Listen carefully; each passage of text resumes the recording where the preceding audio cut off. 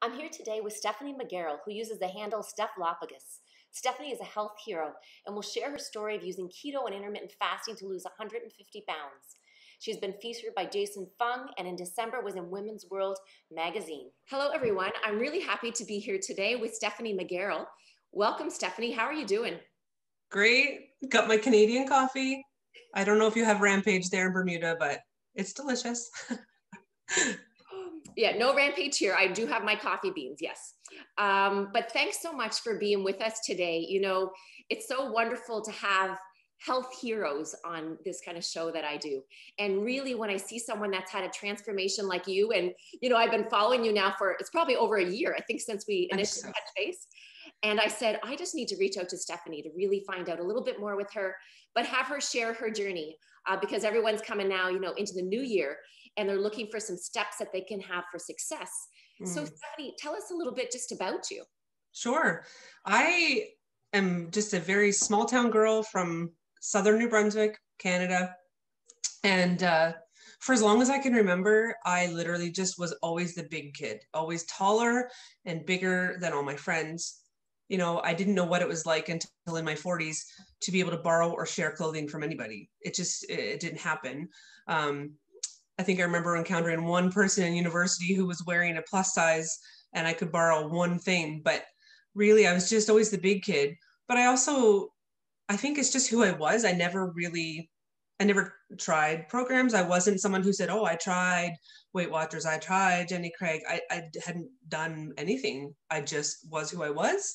Um, I lived confidently. I didn't seemingly let my weight hold me back, but I think it did. Uh, it was more so the health issues I had from birth.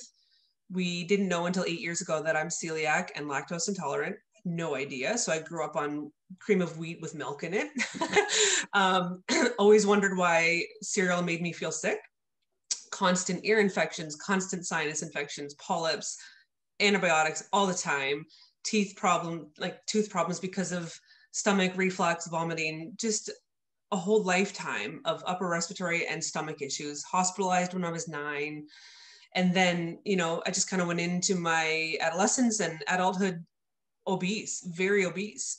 And then, you know, it wasn't until 2017, um, a string of events had happened. I was still recently postpartum with my second baby. I was on um, hormonal birth control pills. I was 330 pounds. So many things were going on. My inflammatory markers were really high. I had unexplained uh, inflammation and mobility issues. So my inflammatory markers were high because of that as well. And then I broke my foot. And a month later, I unfortunately suffered uh, a deep vein thrombosis in my right calf and severe bilateral pulmonary embolisms. So here I was, 330 pounds with children less than one and three. My breastfeeding journey was effectively done because I couldn't be on the blood thinner and keep doing that. And so spring of 2017, St. Patrick's Day, actually. I was not drinking green beer. I was lying in a hospital bed dying. And uh, I spent a week there. And honestly, a good six months of my life passed where I think I was probably just in a bit of a trauma state, days, anxiety every day. If I couldn't get a deep breath, I thought I was going to die again. And then fast forward those six months, I don't know exactly why or what happened. Maybe some seeds were planted in my mind, but I couldn't move. I couldn't get my own compression socks on, which are hard to do in a good day, let alone somebody else with rubber gloves trying to put them on. Um, on blood thinners, on about seven prescriptions, anxiety, steroids, birth control pills, just so many things. And then I overheard my sister a couple of times kind of laugh um, about a local doctor friend who had said, You really should check out dietdoctor.com because she was frustrated with her weight. Um, so ultimately, she's just not really a fan of keto. It's not her preferred route. She's a triathlete, so she fuels her body differently, and that's fine. But I kept thinking in my head, what's this diet doctor? And I thought it was just a gimmicky website in my head until I went to it and fell down, you know, the rabbit hole and um, came upon Dr. Jason Fung. Then, of course, that led me to YouTube, started listening to things he was explaining about the two compartment system and why we store fat versus burning fat. And it all just made sense. And so I flashed back to 2012 when actually the ear, nose, and throat doctor had been the one to stumble upon the celiac. And I remembered that when I was eating, I guess you could say paleo ish at the time as part of the diagnostic process, that I had felt better and that I was also losing weight, but my joints didn't hurt and squatting at the gym didn't hurt. So I started thinking about all this and it just all came together. My husband and I sat together on our anniversary in September of 2017 and we said, this has to stop. It's not good. You know, he was pre-diabetic at this point in in part because of medication. I was obese. I wasn't well. I couldn't move. I couldn't get my socks on. I was medicated to the hills. And we just said, it's got to be the food. So it took a little bit to get that ball rolling. At first, I was really resistant to even use the word keto. I was strongly against it. I didn't want to say it. I didn't like labels. Um, it's like people who say, "Oh, that's my my mate," and they don't want to say boyfriend. And I was just so against the label. And I think part of it is because I had never done programs, and maybe I was holding back because I didn't want people to assume that I was only successful because of this thing and not my efforts. And and so I finally let go and didn't worry about the label. And I mean, within two weeks, I was having mobility returning. Um, within the first 90 days, I was down 50 pounds. And I, I, I'm telling you the complete truth when I say, you know, when I found my why, it wasn't even the weight per se it was the fact that i couldn't move. I, I, just had no quality of life no mobility. Getting down on the floor to play with my children was not even possible and i just was so sick of it. I was sick of the prescriptions. I was sick of the fact that i was back on stomach medication when i had previously come off of it after the pursuit to celiac diagnosis and i was just tired physically tired mentally tired and I just woke up. I literally woke up, and then I bought Jason Fung's book, The Obesity Code. I bought the uh, Complete Guide to Intermittent Fasting. Um, I sunk my teeth in. I, I, chewed that steak. I ate the meat. I spit out the bones. I took what I could from it, and I just I couldn't stop. I just kept reading and watching YouTube videos and listening and taking it all in, and it all made so much sense. Um, a year after that, I was di- I was interviewed by Diet Doctor, and then got to share my story with the local doctor who had no idea she had inadvertently played a role in this whole thing. So she was excited for me. I met her on the playground this summer and told her about the Women's World article that was coming out, and so it was just kind of this whirlwind. You know, three years had gone by, and here's this woman I met and said, you know, you really helped start this whole thing and she had no idea of course. And so i think that's how transformation stories will often go. My story may have impacted another woman to completely change her life also and i may never know that. But it's just so fascinating to know that we have the power to influence other people to change their entire health. And jason fung like i mean i owe i owe the guy my life really. I know i did the work but his wisdom and the way he presented the information made it all just make sense to me. It's so inspiring to hear you you know stephanie to share that experience. And i can tell your heart because you've been transformed and that ability that want and desire to like watch the youtube videos and kind of read and learn. And i've often said to patients i said if you put as much research into buying your new television than you did into researching your health could that not transform your world so tell us about Jason, because a lot of people don't know hmm. about Dr. Jason Fung. So, um, Dr. Jason Fung is actually Canadian. He's board certified medical practitioner. He's a nephrologist. So, basically, my understanding of his past is that here he is somebody who specialized in, in kidney disease and late stage kidney, stage three, stage four kidney disease. And it got to the point when he realized they all had something in common and that was obesity and or diabetes. And so instead of saying okay let the people get to me at end stage kidney disease and i'll just treat the symptoms he said no there has to be a better way. So he started researching obesity and finding out that obesity was a hormone issue um, and that by re- resetting our, our leptin and ghrelin so our hunger and satiety hormones and our um, insulin, we could reverse prediabetes, type 2 diabetes, slow down progression of kidney disease that was already present in these patients instead of just meeting them at the late stage part and making them more comfortable until the end you know and so he has committed so much time and effort and research now. They have he and Megan co-founded a program in Toronto, Canada, for it used to be called intensive dietary management program. It's now called the fasting method because ultimately he came upon, you know, realizing that between low carb and fasting, it was literally curing people and and changing their lives for the first time in their entire life of pursuing change but stumbling upon the fact that obesity is not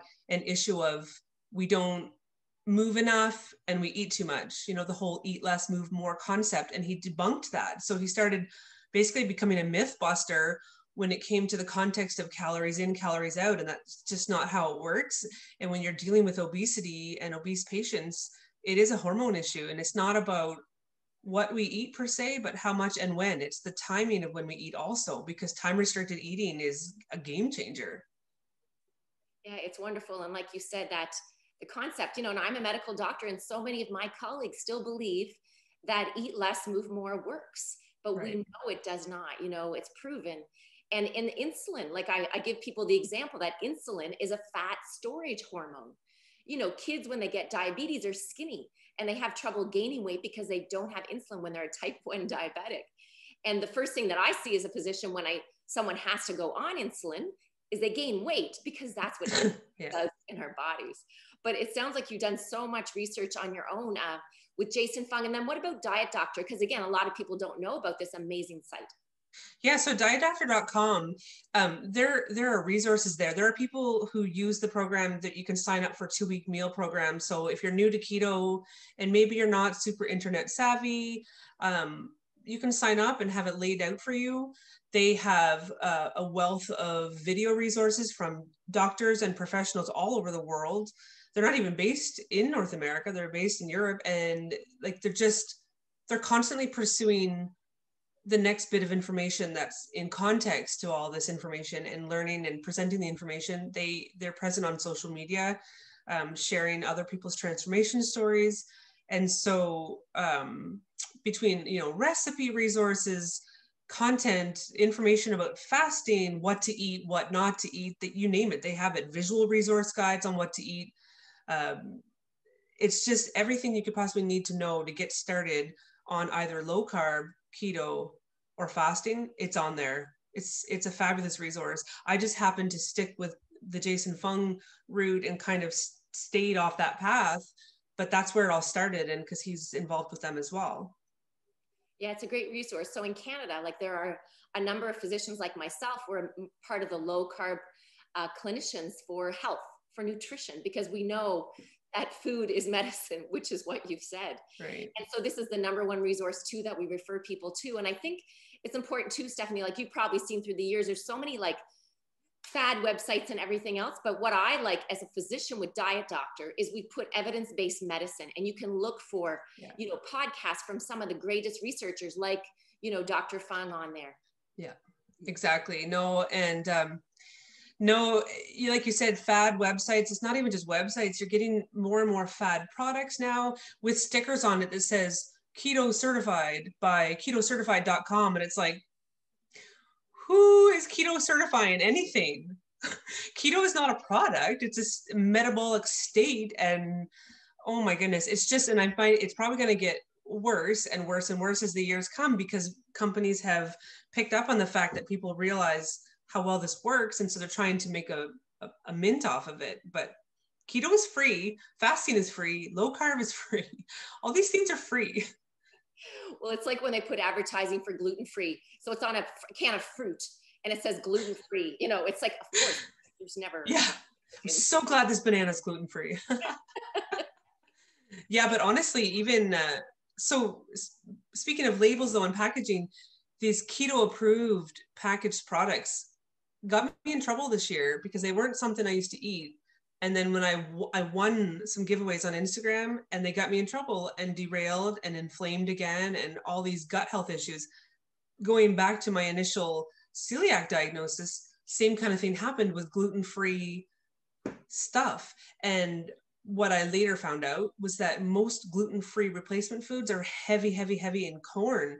And corn is crazy inflammatory too. And so I found I ended up probably even more inflamed after a few years of eating a heavy gluten-free approved junk packaged product. So it's not just keto, you know, anything that is an alternate way of eating, but it's supposed to be based on real whole foods, they start slapping labels on it. There's just no way. There's no way it's a good choice. It can't be. And that's why I encourage people to take a whole food approach to health. Yeah. You know, if it's got more than three ingredients on the label, or even if it has a label, you don't want to be buying. Yeah. Uh, which I find too can simplify things for individuals. It takes a while to get it out of their head. Yeah. You know, you shop around the outskirts of the of the grocery store, and you really don't. You rarely have to go down the aisles if you're it's eating. True, but for years, how many times did I hear that? But it's like my brain subconsciously was saying, but what does it? What does that actually look like? Because it's one thing to say, "Oh, shop the you know, and we know that now. But when you're in the thick of obesity, that's such a foreign concept, you know. Or uh, I remember people would say, well, you just need to listen to your body. And I'd think, do they have any idea what it's like to be a binge eater, an obese binge eater with a whole host of medical issues, to know what it even means to listen to my body in an effective or appropriate way? Not even a little bit, just not even. When your hormones are so messed up, your triggers for true physical hunger versus just habitual hunger are, are fried and and more so i found my satiety hormones it took a while for those to get on point once they did and you start to eat and even if there's one bite left your brain and your body say no i'm done such a strange place to arrive to because it's not a place i had ever been i didn't know that feeling until i did and now that I do, it's earth shattering the, the difference of knowing that concept of finish what's on your plate versus eat until you are, I like what uh, Dr. Ken Berry says, eat until you are comfortably stuffed. You know, not until you're going to vomit, not until you think you've eaten an appropriate serving. Eat for proper hunger, eat until you're comfortably full, and then stop. But don't snack if you if you feel the need to snack two two hours later you didn't fuel yourself properly at that meal so it has taken a long time and you know sometimes you get off the wagon you eat ridiculous for a little while and then it takes a bit to get those hormones communicating properly again but it's such a a win when you can get to the place that you know what it feels like to be done to be satisfied and to stop eating and what does that process look like, Stephanie? Because a lot of people say exactly that. I don't know where to begin. So if you go back and you look at yourself, you know, and you say, in the beginning, what I wish I had known. Yeah. And what I think, what I was doing in the beginning and didn't really realize it at the time, it's what I was doing and why it was working. But now I can tell people when you start, your hormones are not going to be healthy or even turned on the right direction. And so it's not about fasting in the beginning, it's not about how frequently you eat in the beginning. When you're used to eating a standard American diet, where you're used to eating a lot of carbs, I recommend for as long as it takes, maybe it's the first five days and then you feel good. Maybe it takes two weeks, maybe it takes 30 days. Eat when you need to. So when you wake up in the morning, if you're ravenous, and all you want is waffles, go ahead and fry up an egg, have it, eat. If you go to the gym at seven o'clock at night and you come home and you say, I really don't want to eat this late, but you are genuinely hungry, eat. Keep the foods on the low carb list. The lower the carb, the better, especially at the beginning. And if it takes a week of literally eating from sun up to sundown to not feel crazy, as long as it's those low carb foods, it's fine. Eventually, you'll realize that you don't need to eat after the gym. So that one drops off. Maybe another week goes by and you think you're having your coffee and you think i don't i don't really feel like i need breakfast right now. Awesome. And eventually you know three meals and three snacks will become three meals and no snacks. And it just kind of gradually happens from there if you allow it i definitely don't recommend going cold turkey right out the gate i know some people who after a disastrous holiday will say i'm going to fast for the next three days and it's like good luck with that because you're going to feel like trash. and so just eat, eat the right foods, but just eat as you need to eat until that feeling of ravenous crazy settles down a bit and then kick off one of your snacks because really we don't need to be snacking because every time we put food in our mouths triggers that insulin response which triggers fat storage. So you know at the beginning so just by switching what you're eating you're going to make massive impacts. And then in time cut back on how frequently you're eating. Some people are three square meals a day people even on keto and that's fine. But maybe in the beginning they were having a bunch of snacks. And once the snacks were cut down that drastically helped. Because i mean um, you know the whole breakfast is the most important meal of the day i always chuckle because you get two sides of it one who believes it wholeheartedly and the other who says oh that's been debunked but then i laugh and i say but in all fairness the first meal of the day that you eat is breakfast regardless of what time of day it is or if it's the only meal you eat that day it's still breakfast. Actually that's really good. I've never really because you're still breaking your fast right. breakfast is called.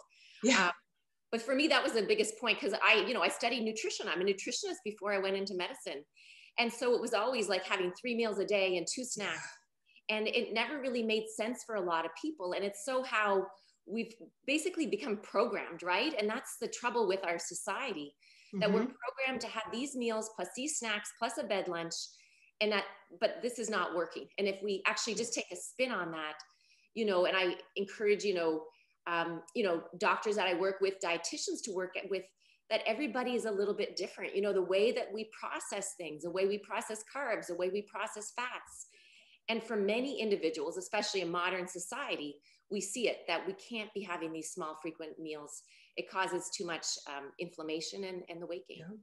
But I mean, one of my first experiences with realizing early on, and it didn't click till later, but at the time, realizing on paper that the dietary recommendations were crazy was when I had gestational diabetes. So with my first pregnancy, I didn't. With the second pregnancy, I did. And so I was forced into the diabetic clinic, which meant every week I was meeting with an endocrinologist. And when they asked us to write down what we ate and said each meal times three is between 45 to 60 carbs, each snack times three is 15 to 30 carbs. I did the math and I said, that's 270 carbs a day. I was not low carb at the time. I did not know what keto was. I had never heard the word in 2015, 16. And yet I wrote down what I ate for that week. And at the time, I was still working for and attending a gym who also the the primary coaches are trained in precision nutrition for nutrition coaching. So I had a nutrition coach at the time and they were saying, no, that's crazy. So, I mean, I went from eating like junk while pregnant to then being diagnosed gestational diabetic to having to log what I was eating. And even logging what I was eating, I was coming in around 100 to 120 total carbs per day. And I showed it to the nutritionist as my first meeting. I said, I've written this down for one week. I will not keep writing it down. I'm aware of what spikes my blood sugar and I won't eat those things. I'm not going to eat 60 carbs per meal three times a day. I don't believe I'm damaging my baby to cut back. And I lost 28 pounds during that pregnancy, not gain.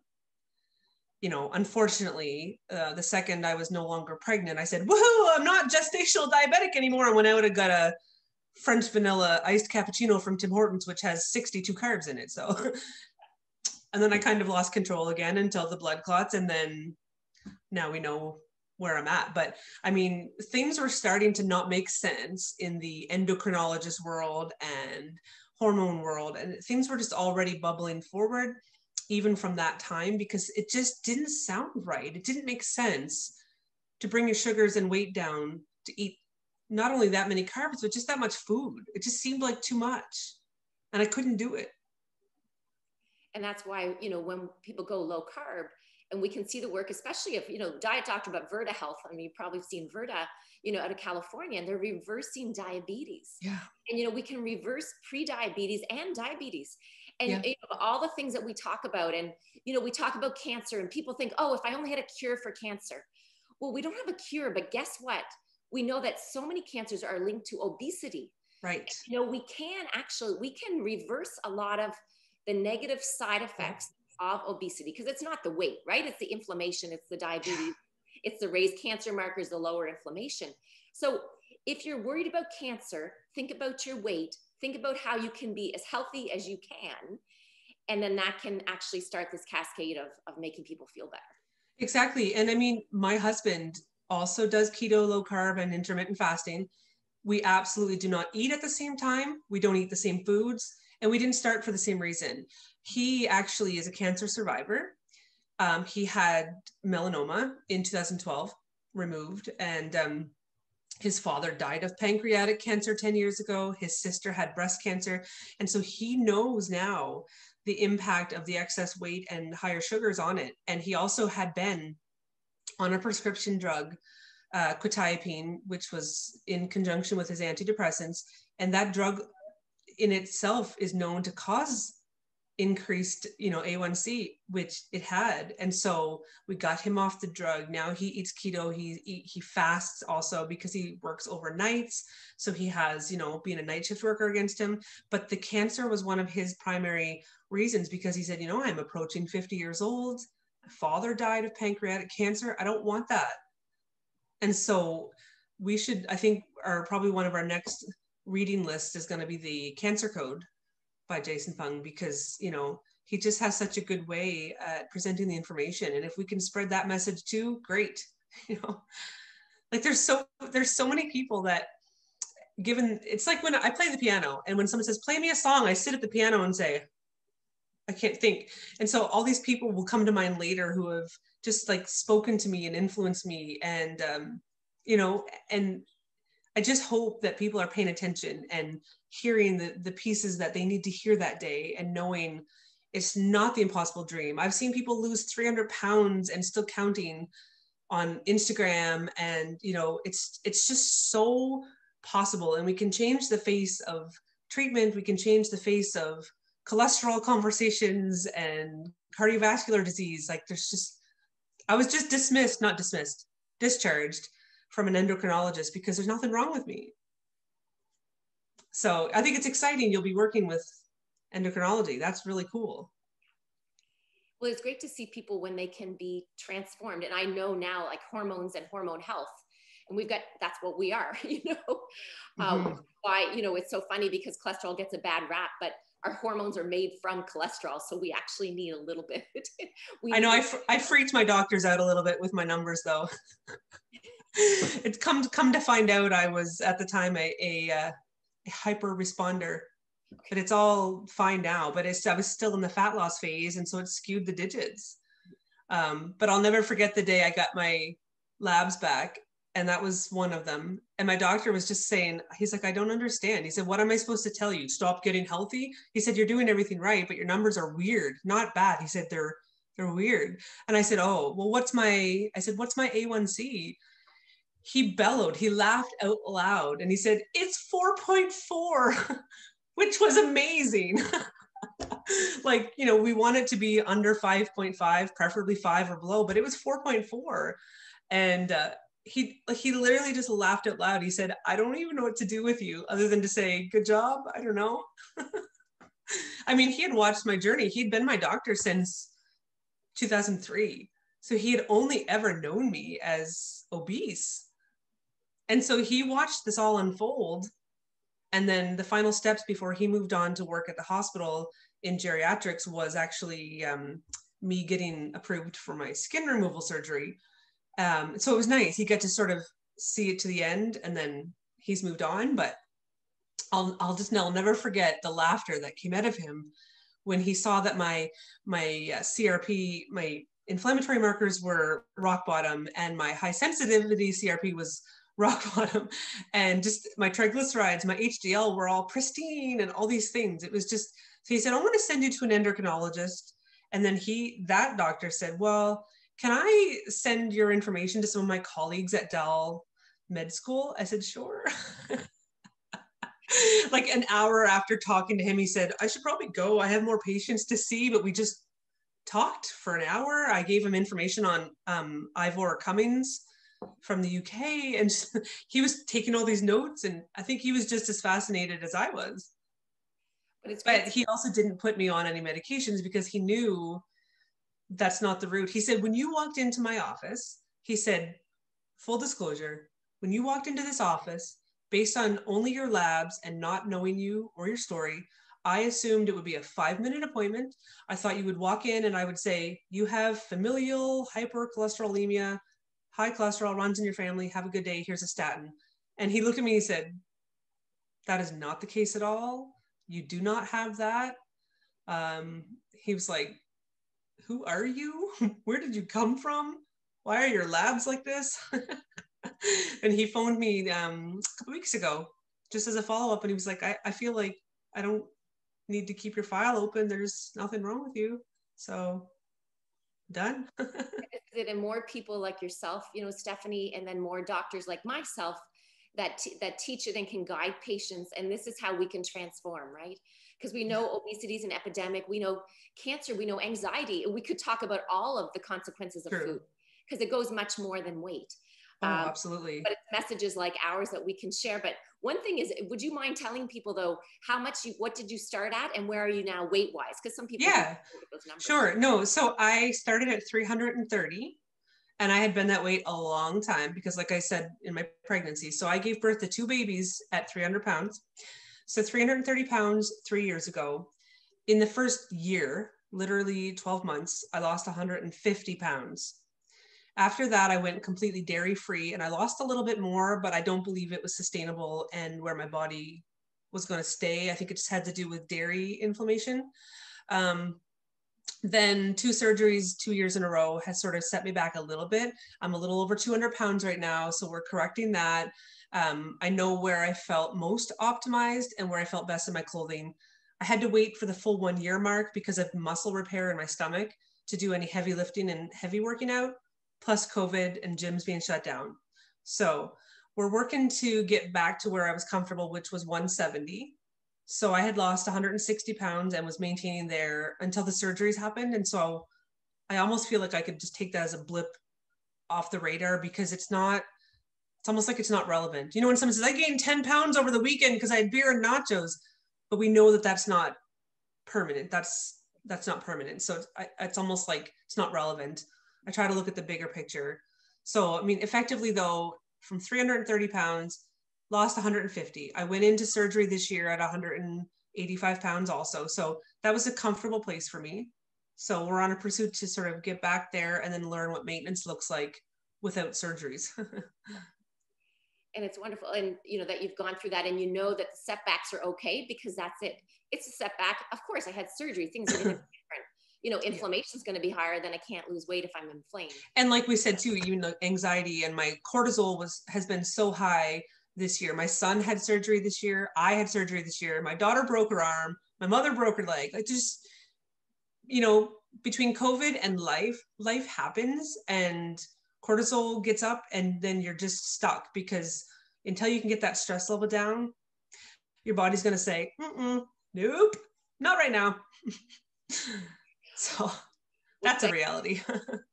and that's why, you know, one of the things I really focus on is trying to get people to sleep because I say if you're not sleeping, your cortisol is high. So your your weight loss, it's going to be so tough on you. Yeah. Let's kind of work on, you know, a bit of stress and maybe sleep to get things. Yeah. And I've definitely been trying to get to bed earlier. For me, the gym used to be in the evenings, partly because it just worked for our family schedule.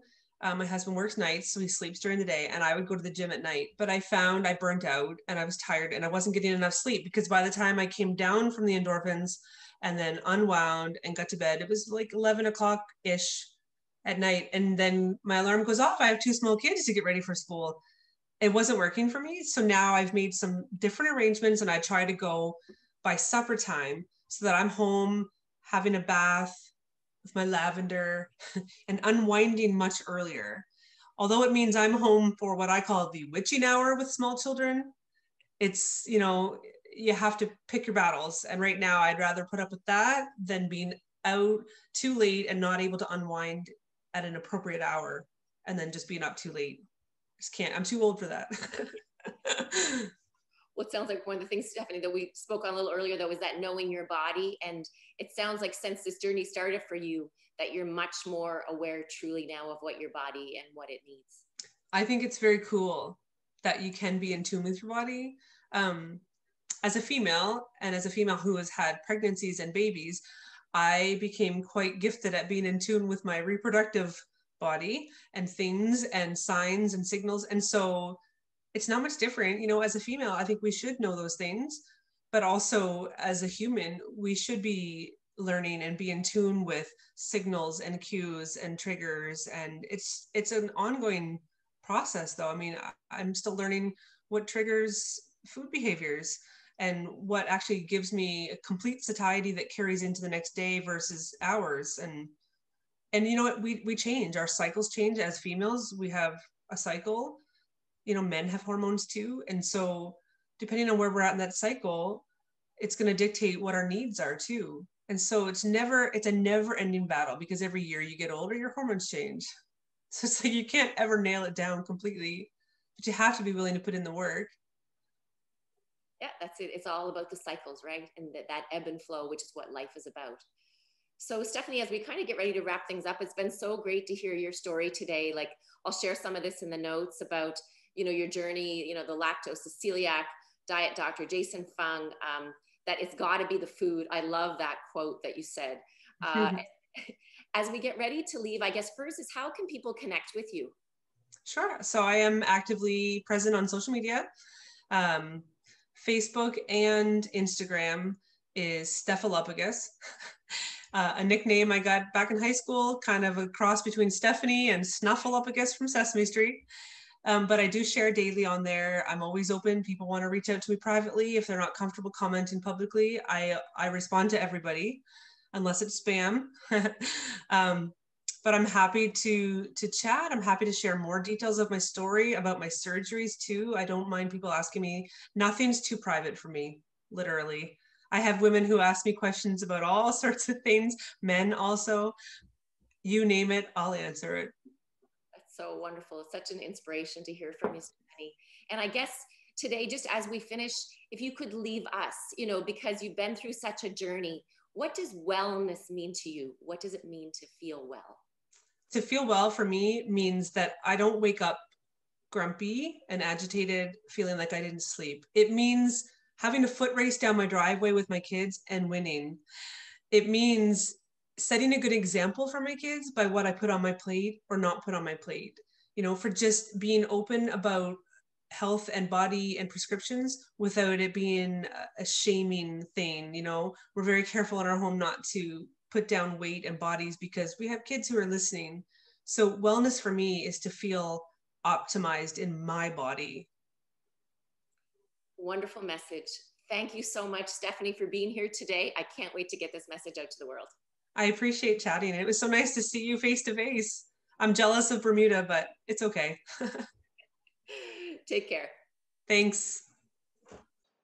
I hope you're inspired by Stephanie's story. Continue to follow her on Facebook and Instagram. Another health hero.